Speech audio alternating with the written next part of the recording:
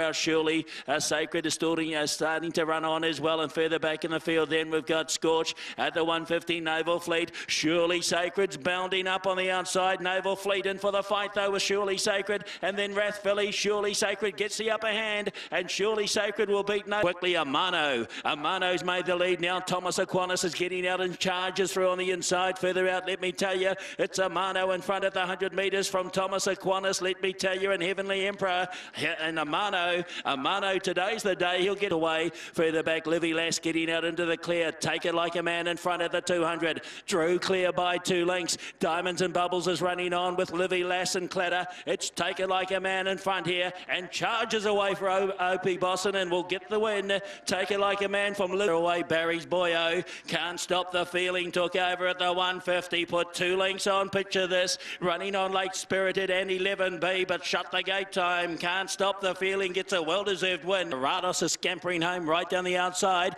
at the 200 metres, uh, taking over ScoMo Eagle. Uh, still battling on his River Run, Future Patch, and down the outside, Garados. Good go here. ScoMo Eagle, Garados trying to pick it up as they go to the post, but ScoMo Eagle good metres they come. It's Showbird tackled by Money Trail on the inside, two lengths away, Wisdom Patch. If not, why not? Van Irving's running on late. It's Money Trail, the leader from Showbird. If not, why, why not battling on? Look at Van Irving charged late, but Money Trail looks to run on further out. Cut a deal, General Sherman as a beaten Parakeet right down the outside. Masu putting up some effort here. Here's Cut a deal coming with it also Summer Wind and Surrey along the inside. Masu cut a deal ranged up, took the lead though. Masu is all over the place, but cut a deal comfortably in the end. Cut a deal two lengths away and behind them next we got Wild Seas down the outside. Birdie Blitz, Tammy when they're trying hard, so too. There's a new market and out wide coming home, pin me down and Wild Seas. Tammy Wynette got its nose in front, short of the post. It'll get there.